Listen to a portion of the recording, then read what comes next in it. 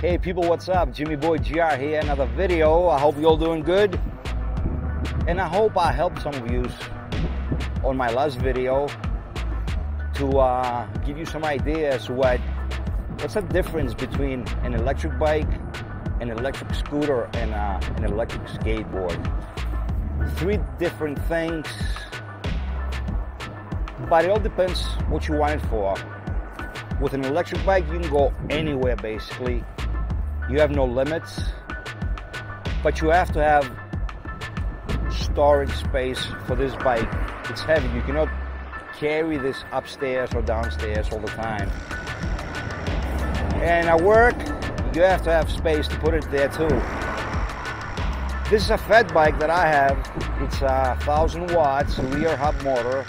It's got a 48 volt, 10.4 amp battery. It gives me 30 miles of top speed and around 25 to 27 miles of range. It's got a thumb throttle, it's great. It's got three pedal assists.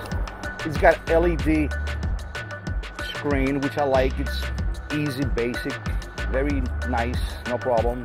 It's waterproof or splash proof this bike.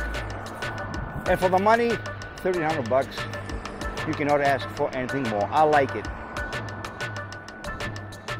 If you like this uh, speedometer, it's a good one.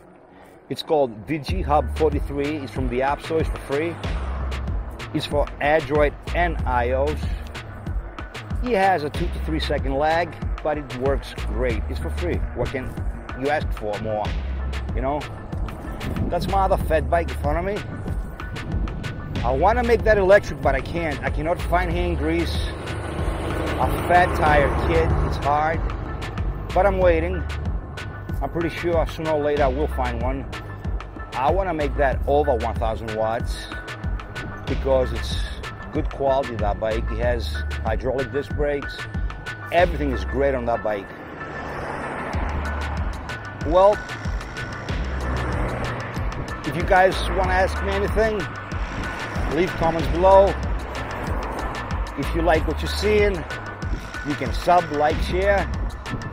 Jimmy Boy GR. We'll talk on the next one. Have a good one. Have a good ride. And don't forget, wear a helmet.